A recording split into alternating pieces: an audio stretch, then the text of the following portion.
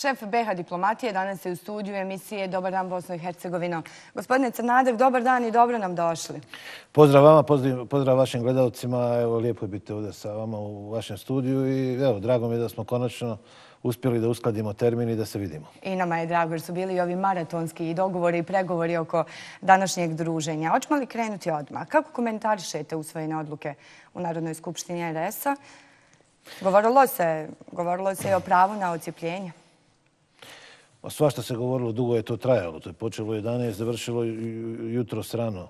E, pa znate kako, s jedne strane, e, Narodna skupština je najvažnija institucija za sve nas koji dolazimo iz Republike Srpske. A s druge strane, mnogo puta je, nažalost, e, zloupotrebljena od strane vladajuće koalicije okupljene oko SNSD-a. Mnogo puta je čak i ponižena. Mi smo imali situaciju gdje je oko referenduma u sudu Bosne i Hercegovine e, su nas e, u toj zgradi, u tom e, tako važnom domu nazivali izdajnicima, jer nismo ih pratili kada su tijeli referendum o sudu. A onda, poslije pet dana je samo gospodin Dodik, koji je tada bio predsjednik Republike, rekao, ma ipak nećemo taj referendum. I javio svojima u Skupštini da ga ponište. Takve stvari su dovele do toga da sjednice kao što je ova od sinoć e, mnogo manje pažnje dobijaju, e, mnogo su manje značajne nego što bi trebale biti. I za mene ovo ponovit ću još jednom bilo uglavnom gubljenje energije i vremena. E, neće biti nikakvih posebnih reperkusija. Mislim da će to biti stara vijest za 5-6 dana. Kao što je to obično do sada bilo? Pa bolje je da smo, da smo to vrijeme posvetili nekim e, životnim pitanjima oko, oko, od kojih mogu građani zaista da imaju korist.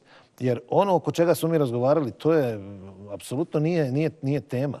Niko vam neće u Republici Srpskoj pristati da se mijenja teritorij Republike Srpske, da se ukine entitetsko glasanje, da se mijenja e, nadležnosti, set nadležnosti koje ima Republika Srpska. To su stvari oko kojih smo mi saglasni čemu tolika e, gužva i tolika frka, ali očigledno je to vladajućoj koaliciji iz nekog razloga trebalo.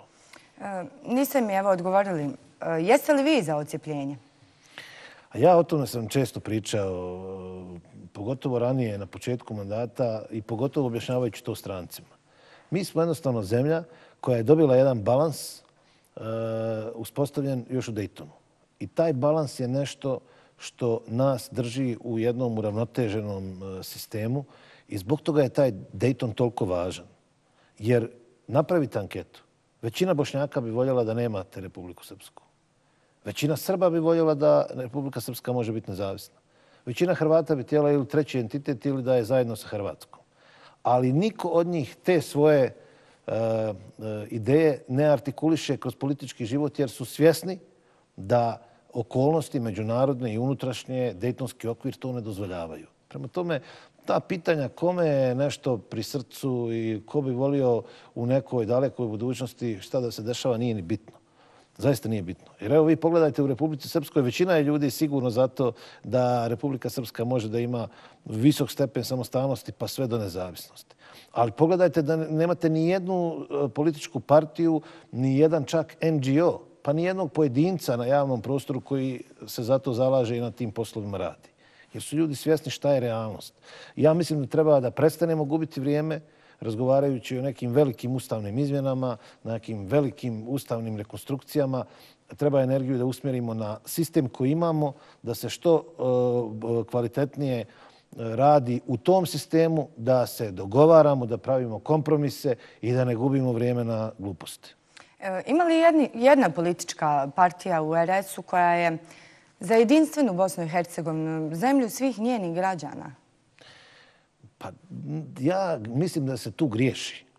Mislim? Da se, pa griješi se u tome što uh, se posmatra da samo onaj ko uh, je za nekakvu jedinstvenu Bosnu sa sistemom jedan čovjek, jedan glas, bez značajnog uticaja entiteta i naroda, da je samo taj neko ispravan. Ja ne mislim tako. Ja mislim da i svi mi e, koji se zalažemo za striktno poštovanje Daytona, koji se zalažemo za e, poštovanje zakona, poštovanje jednih drugih, da mi mislimo dobro o ovoj zemlji i da, da nisu to nekakvi loši momci samo zato što e, jasno kažu da su bošnjaci, hrvati ili srbi, da im je stalo do toga da, evo, u mom slučaju, jer ja dolazim iz Republike Srpske, da nam je stalo do Republike Srpske, ali ne poništavamo i ne opovrgavamo okvir u kojem živimo, a to je Bosna i Hercegovina. Da, mislim, sve je to u redu, poštojemo naravno, ali nije li Bosna i Hercegovina postojala i prije Dejtona?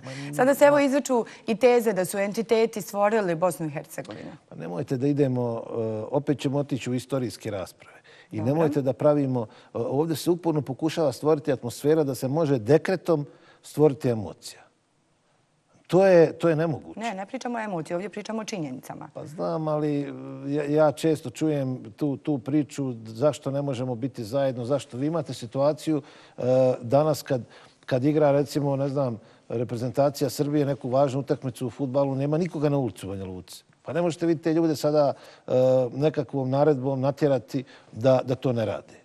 Ali s druge strane, hajte da budemo što bliži jedni drugima, da što bolje sarađujemo. To će e, e, u vremenom u budućnosti smanjiti tenzije i dovesti nas bliže jedni drugima. A jesu li prazne ulice u Banja Luci kada igra reprezentacija Bosne i Hercegovine? Pa, prati se i to. Prati se i to, ne toliko koliko kad igra Srbija, ali se prati i te utakmice. Ali opet vam kažem, e, ja mislim da, da je greška da je greška, evo čemu će dovesti rasprave da, da, oko toga šta je starije koka ili jaje, šta je, e, ko je, ko je, ko je u pravu oko neke istorijske stvari. Nećemo se dogovoriti oko toga. Ni vi, ni ja, ni drugi politički aktori, akteri, ni, ni običan narod, samo ćemo izgubiti vrijeme. Ajte da vidimo e, šta je neki minimum našeg zajedničkog dogovora i da se okrenemo u budućnost. E, kada bismo, evo, poštovali, jeli, ovaj, ove potpisane dogovore koji zapravo stoji u kojem je učestvovao i gospodin Nebojša Radmanović. Mislim na e, sporazum o pristupanju Bosne i Hercegovine u partnerstvu za mir 2009. zahtje za akcioni plan za članstvo u NATO. Da li vi to zamirate SNSD-u? Što su to uradili? Da. Pa pazite, oni su donijeli odluku e, koja je na predsjedništvu jednoglasno donesena i u kojoj je učestvovao srpski član predsjedništva. Eh, ja mislim da imaju samo dva puta dalje. Jedan je da se ta odluka poštuje i drugi je da se ta odluka promijeni. Eh, iz SNSD-a kažu da tu odluku treba promijeniti i ja nemam ništa protiv da to uradi. Ali evo, gospodin Dodik sjedi u predstavništvu više od godinu dana i još uvijek nije ni pokušao tu odluku da promijeni. I vi sad nemate drugu opciju nego da poštujete odluku koja postoji. Ili imate i treći put, za koji ja mislim lično da je loš. Taj treći put se zove mi smo se predomislili. E, mislim da je to loše po najviše za Republiku Srpsku. Jer nama iz Republike Srpske je najvažnije da ono što se dogovori između tri strane može samo tako da se promijeni. A ne da neko kaže, e, sad se meni to više ne sviđa. Dakle, e, ja mislim da postoji način i da se formira vlast u Bosni i Hercegovini, i da se nastavi normalan politički život u Bosni i Hercegovini i da se ispoštuje odluka iz 2009. a da u sve to interes Republike Srpske pa i Bosne i Hercegovine u celini budu zaštićeni. A koji je to način? Pa nemojte da ja sad to govorim. Zna se ko su stranke koje su preuzele odgovornost da ovaj posao završe. To su SNSD, SDA i HDZ. Dobro, može li e, evo, entitetski nivo, bilo da je riječ o RS-u ili u federaciji, urušavati državne odluke evo, o kojima smo govorili? Pa ne bi ja tako e, ulazio u tu terminologiju koju ste vi stavili u pitanje, ali ja mislim da entitet ima pravo da zauzme svoj politički stav i da se bori zato da taj stav, politički stav jednog entiteta, Republike Srpske ili Federacije, e, dobije podršku od e, drugih aktera i postane stav Bosne i Hercegovine. Po meni je to sasvim legitimno. Ali taj stav je donesen, evo, ispomenuli smo, donesen je 2009. godine. U ovom trenutku Bosna i Hercegovina ima odluku koja kaže da ona ide u map. I ako mene, pitate, ako mene pitate u kakvom je sada statusu Bosna i Hercegovina, ja vam samo to mogu odgovoriti. Bosna i Hercegovina je u statusu da je donijela e, odluku da ide u MAP, da je NATO tu odluku prošlog decembra potvrdio i pozvao Bosnu i Hercegovinu da uputi e, prvi AMP i aktivira MAP. To je status Bosne i Hercegovine. Sve drugo što bi vam rekao bilo bi netačno. Gospodine Crnadak, evo vi ste čovjek koji bavite se i takvim poslom, putujete svijetom. Posjećujete brojne samite, sastajete se sa liderima brojnim iz svijeta. Kakva je prednost za sve one zemlje, za građane, e, tako bih rekla, koji su članice NATO-a?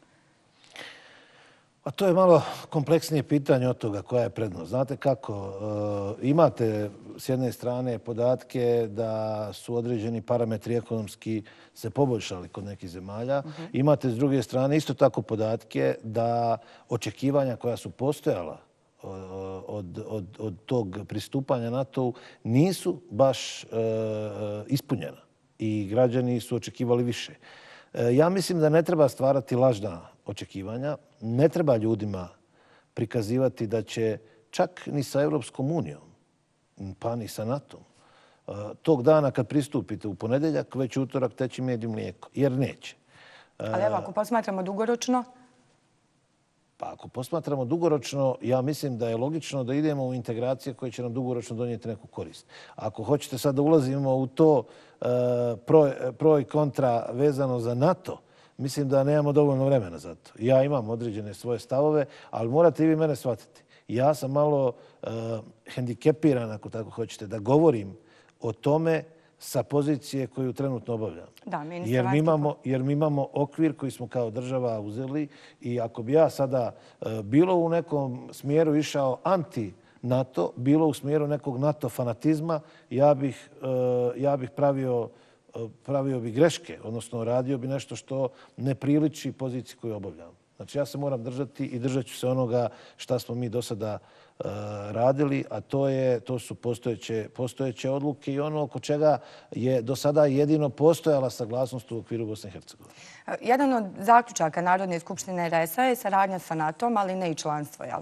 Znamo da MP ne znači članstvo i da se zapravo sada ni ne odlučuje o tom članstvu, nego se odlučuje o napretku u saradnji. Zašto ste onda i vi protiv? Da li bi, eh, rekla bih tako, vaše za značilo izdaju srpskih interesa? Evo, bliže se i... Za čemu za? Za, za AMP-u. Pa pazite, e, vi ako ste pažljivo pratili, mi smo devet ili deset puta skinuli tu tačku s dnevnog reda. Da, i danas ste to uradili. Pa da, mi nismo glasali protiv. Mi smo skinuli s dnevnog reda. Šta to znači? Da je one na čekanju? Pa... Ne, to znači ono što smo rekli prije godinu dana. E, da odluku o tome treba da donese novi savjet ministara. To samo to znači. I vraćam vam na ono, na ono što, što sam vam rekao na početku priče NATO. A to ne znači da ste protiv, eto, to mi je sad važno da čujem. Pa protiv ste kad glasate protiv. Mi smo skinuli s dnevnog reda. O tome će odlučivati novi savjet ministara. I ponavljam vam ono što sam već rekao. Postoji način da Bosna i Hercegovina, s obzirom da se ovdje najviše priča o, o Republici Srpskoj, postoji način da Bosna i Hercegovina ispuni svoju međunarodnu obavezu prema NATO-u, a da interesi Republike Srpske ostanu zaštićene. Dobro, ako evo, i vi niste recimo za AMP, a jeste za interese Srbije i Rusije više nego za Bosnu i Hercegovinu, po čemu je onda suštinska razlika PDP-a i SNSD-a? Razlika uh, između PDP-a i SNSD-a je poprilično velika. Imamo i vi i ja obaveza večeras, ne bi imali toliko vremena da vam to... Ajde da vam je to vrijeme izgovor danas. A ne, ne, nije. Evo, sad ću vam reći, pazite. Uh, te razlike uh, su ogromne. Ja sam malo o tome juče govorio na Skupštini. Razlike se odnose e, kada je u pitanju odnos prema e, Republike Srpske, odnos prema institucijama Republike Srpske, e, odnos prema činjenici da je Republika Srpska brutalno opljačkana u posljednjih 15 godina i tako dalje. Što se tiče, što se tiče pozicije oko, oko, oko NATO-a, mi pričamo sada o jednoj međunarodnoj obavezi. Ja vam kažem, mi stojimo čvrsto na poziciji da se, mo, da, da se treba poštovati ono što smo dogovorili eh, unutar Bosne i Hercegovine jednoglasno. I ja vam kažem, eh, postoji način da ono što smo dogovorili jednoglasno bude provedeno, a da interes Republike Srpske ne bude ugrožen. I sam eh, državni sekretar Sjedinjenih država i čak Bakir Izetbegović, predsjednik SDA, i ne znam više ko to nije govorio, svi su to rekli vrlo precizno. AMP nije članstvo. I postoji način. Ja čak smatram da i ovi koji sada ispred Republike Srpske pregovaraju o formiranju vlasti iz SNSD-a, znaju i oni sve to. Ali zašto oni neće ili ne mogu ili ne znaju kako to uraditi, to morate njih pitati. Ja zaista tu njima ne mogu pomoći. E, dobro, evo idu i lokalni izbori, jel tako, općinski izbori. E, SNSD želi srpsko jedinstvo. E, bavili se, evo, i to sam uspjela kratko da vas pitam, postoji li tako govori o jedinstvu Bosne i Hercegovine, ali bavili se o stvarnom rješenju problema građana RS-a. Evo, ljudi iz RS-a zaista odlaze masovno. Pa jeste, kažem vam, tu su glavne naše razlike. Mi smatramo da oni u ovih Eh, 12-13 godina koliko su vlast, eh, apsolutno nisu dobro radili. Eh, I mnogo je, mnogo je problema, mnogo je izgubljenog novca i vremena tamo u onim segmentima društva gdje su institucije Republike Srpske samostalno djelovale. Znate, mi smo slušali premijera Republike Srpske sad na Skupštini kako priča o tome kako vodi grčevitu borbu sa federacijom oko nekih 50 miliona maraka Eh, i kako je sve što je do sada rađeno od strane OHR-a išlo na štetu Republike Srpske i kako je sve to ugrozilo Republiku Srpsku. E sad, eh, znate, ne možete da ga ne pitate, ok, ali eh, Bobar banka je izgubila 150 miliona novca građana i firmi iz Republike Srpske. U Bobar banci nije bilo OHR-a. U Bobar banci nije bilo Bakira Izetbegovića i federacije. Ko će nam dati odgovore na ta pitanja? Imali smo situaciju u u, u, banci Srpske, gdje ste e, imali e, dvije i po hiljade izdatih e, mjenica nezakonito, bez pokrića. Ogromna je šteta nastala. Smatra se da je, prema istrazi da je preko milijardu i 500 miliona dolara oprano preko Balkan banke i, i banke Srpske. E, u tim aktivnostima Niko nije taj kriminal nametao od strane OHR-a ili nekog drugog. To je sve stvar naša tamo u Republike. Zato smo mi, e, zato smo toliko uporni na tome da se stvari moraju mijenjati upravo tamo gdje su isključive nadležnosti Republike Srpske i da tamo stvari ne valjaju. E, tako da nema, nemojte imati tu dilemu. Mi e, ćemo nastaviti da budemo vrlo oštra, vrlo oštra opozicija, e, također i na lokalnom nivou. A što se tiče tog srpskog jedinstva, kako ste ga i vi spomenuli malo prije, e, ponavljam, ono je za nas važno na pitanju uloge i nadležnosti Republike Srpske, njene teritorije, njenog značaja unutar Bosne i Hercegovine, ključnih mehanizama zaštite kao što su entitetsko glasanje. E, tu treba da bude srpsko jedinstvo. A oko toga ko će biti vlast, a ko će biti opozicija, to je manje bitno. Ali se izgleda da tu vode najveće borbe. Pa ja lično smatram da i jučerašnja skupština i čitava ova frka koja se dešava u zadnje vrijeme, koju proizvodi SNSD, ona se zapravo dešava samo zato što oni imaju jednu žestoku frustraciju što još nisu ušli u savjet ministara i jedan žestok strah da ćemo mi napraviti savjet ministara. A eto, ja sam im jučer rekao, ponavljam i danas, nećemo, mi se sa tim ne bavimo, ne zanima nas to za sada, ne kažem da nećemo kasnije. U ovom trenutku mi sa našim partnerima iz SDS-a se uglavnom bavimo sa tim kako da e, stvorimo uslove za deblokadu predstavničkog doma parlamentarne skupštine, jer mnogo, mnogo, mnogo tamo stoji stvari e, koje ovi ljudi čekaju i u Republici Srpskoj i u Federaciji. I ima li šanse za novu većinu? Pa za većinu, za šta? Za savjet ministara ili za deblokadu parlamenta? Za deblokadu parlamenta. Pa mislim da za to ima. Jer po ovome što sam ja čuo, nešto od toga je bilo i javno, a nešto sam ja dobio uh, usmeno. Uh, čini mi se kao da um, su praktično sve partije u predstavničkom domu spremne da rade, izuzev, izuzev uh, partija, e, izuzet dvije partije koje imaju iza sebe neki 14 poslanika. Ako bude tako, onda će to biti većina od nekih 28, 27, 28 ljudi. E, ministre Crnadak, vi kao ministar vanjskih poslova Bosne i Hercegovine. Možete prokomentarisati koliko zbog evo, cijele ove situacije, neformiranja vlasti, stalnih političkih kriza, koliko je zapravo poljuljan ugled Bosne i Hercegovine na međunarodnoj sceni? Koliko smo kredibilni? Ko će doći da ulaže ovdje u zemlju koja se, evo, čujemo već posljednjih nekoliko dana da je leglo terorista, da je bomba koja odkucava tik pored Hrvatske. Kako biste evo vi odgovorili kao šef BH diplomatije upravo na ove optužbe? Pa, ja mislim da smo imali jedan e, veoma dobar e, period e, negdje od formiranja vlasti poslije prethodnih izbora, ne ovi sad. I to je trajalo neke dvije godine.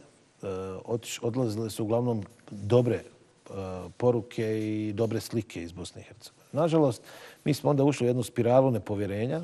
To je zaustavilo i evropski put i dovelo čitav niz problema na površinu ponovo. Ako tome dodate i ovakve izjave i neke, pazite, nisu to samo izjave. Nažalost, mi smo imali vrlo ozbiljne medije e, koji su znali da osvanu sa naslovnom stranom Bosna i Hercegovina leglo terorizma. Mnogo je bilo vrlo teških osuda i, i e, poruka, informacija koji su bile netačne, ali su nanosile štetu.